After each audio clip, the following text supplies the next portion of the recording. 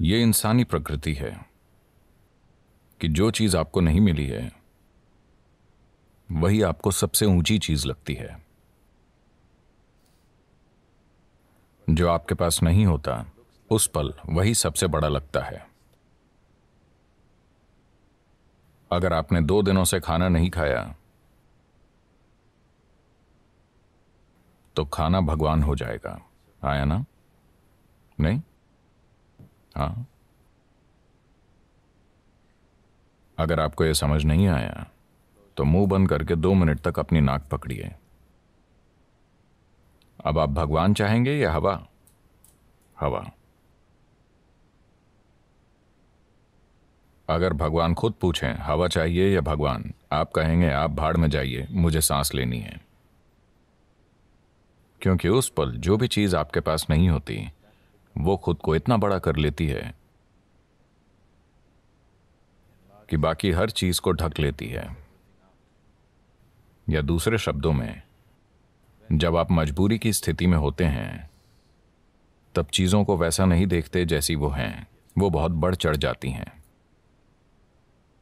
अगर आपका ब्लैडर भरा है, एक मिनट, मैं आत्मज्ञान की बात कर रहा हूँ। आपका ब्लैडर भरा हुआ है। क्या आपको रुचि होगी? मुझे आत्मज्ञान नहीं चाहिए। फ़िलहाल बाथरूम जाना ही परम मुक्ति जैसा है। हाँ या ना? तो चाहे जो मजबूरी हो मजबूरी की स्थिति होने पर आप किसी भी चीज़ को उसके असली रूप में नहीं देखते।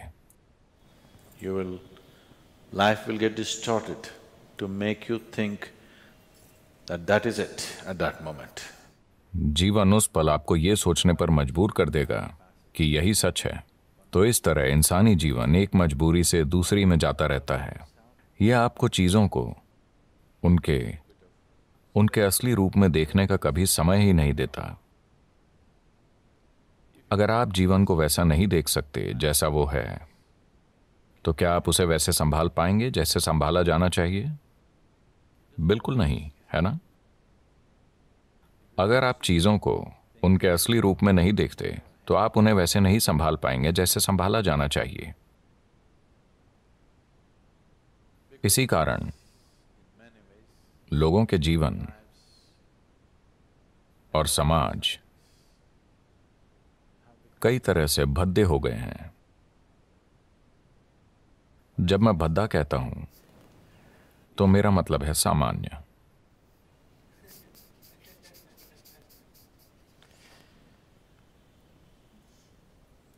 मैं एक स्कूल में चौदह पंद्रह साल के बच्चों से बात कर रहा था।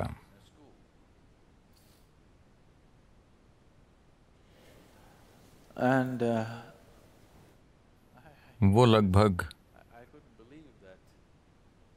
ग्यारह बारह लड़के लड़कियाँ थे।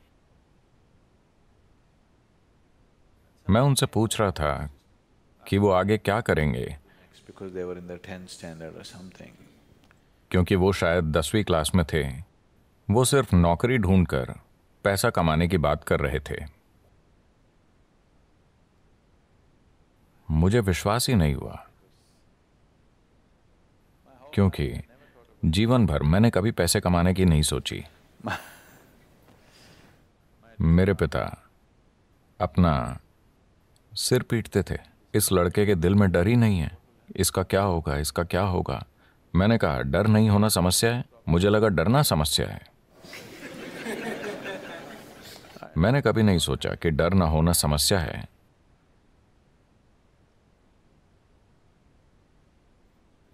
तो परमात्मा का हुक्म था कि मैं एक डॉक्टर बनूं, क्योंकि मेरे पिता डॉक्टर थे। दस साल की उम्र में मैंने उनसे कहा, नहीं, ये तो मैं बिल्कुल नहीं बनूँगा, मैं डॉक्टर नहीं बनूँगा। पर रोज कोई ना कोई मुझसे कहता, तुम्हें सिर्फ़ एक डॉक्टर ही बनना चाहिए।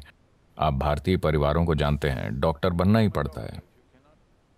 आजकल सॉफ्टवेयर सीखना पड़ता है। मैं मैं आठ दिन शिकागो में था। दो दिन पहले ही मैं भारत आया। तो आठ दिन पहले मैं शिकागो में था। और वहाँ एक भारतीय व्यक्ति से मैंने पूछा, आप क्या करते हैं? और क्या, सदगुरु। यानी वो एक सॉफ्टवेयर इंजीनियर है।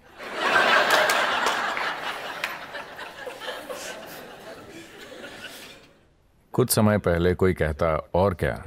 तो वो एक डॉक्टर होता। अब कोई कहे, और क्या? तो वो एक सॉफ्टवेयर इंजीनियर है। वो डॉक्टर इसलिए नहीं बने कि उन्हें शरीर विज्ञान में रुचि थी।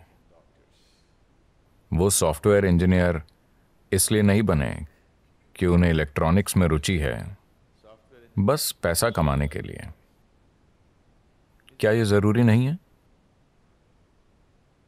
मैं नहीं कह रहा। मैं बस ये कह रहा हूँ कि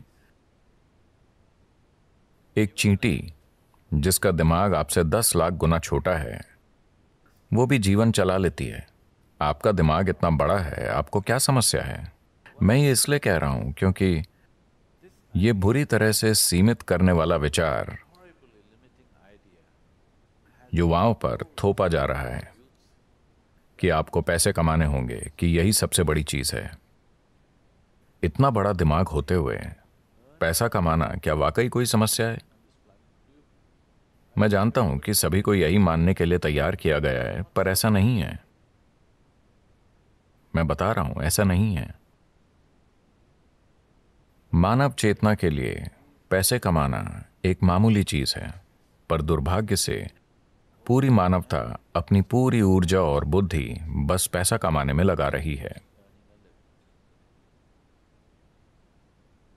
अगर दुनिया में यह नहीं बदलता, मैं ये नहीं कह रहा कि पैसे नहीं कमाने चाहिए। मैं बस ये कह रहा हूँ कि इसे पूरी इंसानी चेतना पर हावी नहीं होना चाहिए। अगर आप एक छोटी उंगली से काम करें तो ये पैसे कमा लेगी। इसमें इतनी काबिलियत है। पूरी इंसानी प्रतिभा मुरझाकर मर गई है। सिर्फ़ इसलिए कि सभी सोच रहे हैं पैसे कैसे कमाएँ पैसे कैसे कमाएँ। The moment they can earn a living, they will sit down and become fat. जब वो पैसा कमाने लगते हैं तो वो बैठे बैठे मोटे हो जाते हैं। आपको सोचना चाहिए मैं इस जीवन के साथ क्या कर सकता हूँ है ना? आपको सोचना चाहिए इस जीवन के साथ सबसे बड़ी चीज़ मैं क्या कर सकता हूँ क्योंकि एक दिन आप मर जाएँगे। क्या आप जानते हैं? क्या आपको पता है, आप मर जाएँगे? तो मरने से पहले इस जीवन को परम संभावना तक पहुँचना चाहिए, है ना? मैं पैसे कमाता हूँ, पैसे कमाता हूँ, लोग गर्व से कहते हैं। आप क्यों नहीं देखते कि हर कीड़ा, हर पक्षी, हर जानवर, इस धरती का हर प्राणी जीवन चला रहा है? इतना गर्व कि मैं अपना जीवन चलाता हूँ। इसमें इतना गर्व करने की क्या बात है? सभी अपना जीवन चला रहे हैं, है ना? सिर्फ़ इंसान ही इसे मुद्दा बना रहे हैं। बहुत बड़ा मुद्दा। जब मैं ये देखता हूँ कि इंसानी बुद्धि जीवन चलाते चलाते कैसे कुर्बान हो गई है तो विश्वास नहीं होता। मनुष्य कितना कुछ कर सकते थे, वो अद्भुत चीज़ें कर सकते थे, पर उसके बजाय वो पैसा कमा रहे हैं।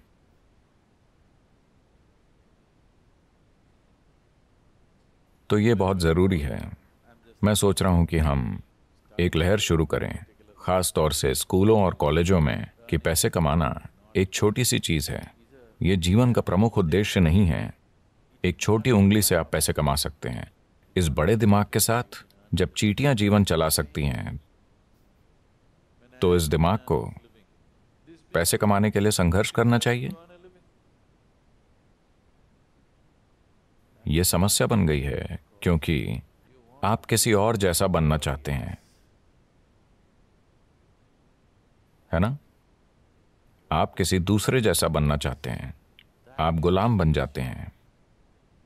और इस चक्कर में पड़ने के बाद और कुछ नहीं हो पाता। आप हमेशा के लिए इसी में फंस जाते हैं।